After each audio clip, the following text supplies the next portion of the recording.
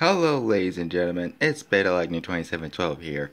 Here, and I have finally theorized a question and that I have had as since the end of a Fight for N-World. World. And this little theory will probably blow your minds, if you think about it. It actually. Now, as we all know, Xeric Zay is one of Manimax X 1613's most popular her her mods. Nice. Nice as having to be recreated by at least every single biotuber at least one time. I'm, and one thing, thing that has always bothered me, he, he, he, it could be summed up with at least two different scenes. I might as well let you in on a little secret too. I think my brain is starting to heal. It feels like pieces are falling back into place. I'm starting to feel emotions again. Understand what I mean yet? Let's continue. What the? Those scars. Those shouldn't be there. Zeri's energy should have healed any damage done to Zeron's body a long time ago. There's no way that they could have stayed in. Left eye never healed. Just like your scars. No amount of energy can heal an injury like that. So.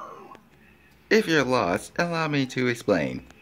Hey, hey, something that has always bothered me is the fact that had after Zeron and Eros, whose, whose, whose, whose fused, whose are became one being, and even after their separation, it seems like Zeron's, like, like Zeric's, Eric's wounds never healed, especially considering that he he he actually never got damaged by a Kaythrani himself.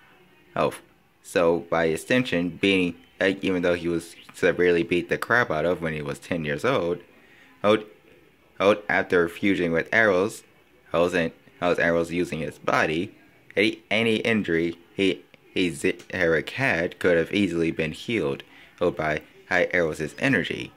Yet, at throughout and it's not until the end of the series where Zero Azaric even begins to heal any, any injuries. Yet why is that?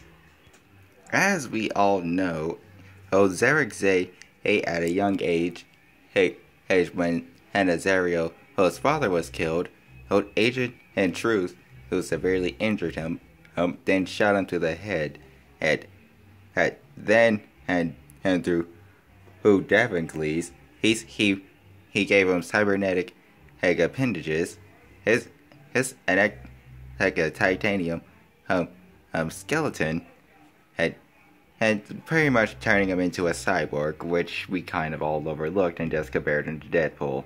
Well, hence what reveals to what this entire theory video is about. Well, well, this is pretty much as to what exactly is Agent Remorse. Well, today I like to say that Agent Remorse himself is really a Kaythrani. But you might be saying, Beta, you're overthinking. Hang, Hang Zentronian, what proof do you have of this? Well, let's start with some, some little basic things, shall we? Now, believe it or not, the most information we actually get about Agent and and, and truth is from Agent Remorse himself, and not by just in-text dialogue he says throughout the series. Biologically speaking, Zentronians are no whole different than humans, hence, aside from the fact that they have slightly larger brains, which means that they're, uh, which makes it apparent since they're more intelligent. Yet, if you stare at Agent Henry Morse or, or Agent Truth, it's clearly obvious that they're, they're larger than and most of the characters throughout the entire series, aside from it, and the Titan class people. In Agent Remorse's case, he's a genetic hybrid hit, hit with the ability to shapeshift, which makes it apparent that which would mean that, that that's not what an actual Zentronian should naturally look like. However, what exactly is Agent Truth's case? In any case, it's mostly implied that he's just a regular Zentronian with his, his specialized equipment, also, a large proof of dialogue comes, uh, comes from this his scene itself. So Truthful's a robot? Yes and no. When Drazen found out that an agent under my command had shot a child, he was beyond furious. I promised to punish Truth for what he had done. However, he was still a valuable asset to the Zenthronian government, so I couldn't simply kill him.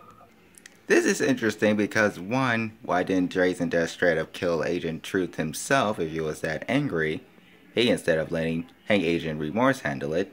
And two, the fact that had Agent Remorse, or it says that had had he was actually more viable to the Zenthronian government alive, even though throughout the series he's he shows otherwise that he is just an average agent. Not only does he show to dis his, disobey orders heard on a regular basis, and throughout most of his fight scenes, he actually never has won a direct fight. Not against the Drega agents, hence, hence, and not against anyone else. In fact, I'm pretty sure the Drega agents were the only people he's fought, and the only won at one time, and that was in, in the crossover of Legacy of Vengeance. Unlike Agent Remorse, or our beta uh, 1 from half the time that shows that he has viable intel how to uh, tell half the time, he mostly seems like he doesn't and have any viable information. So exactly, he makes him so, viable that Agent Remorse couldn't simply kill him, despite the fact that it's shown that he he simply kills those people ho, ho, ho regularly.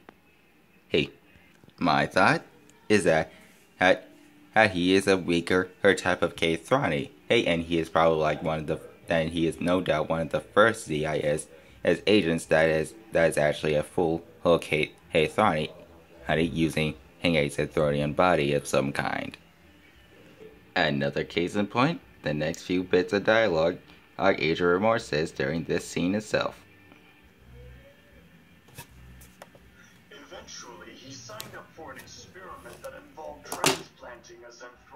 Mind into a robotic body. Of his own free will. Or what was left of it, anyway.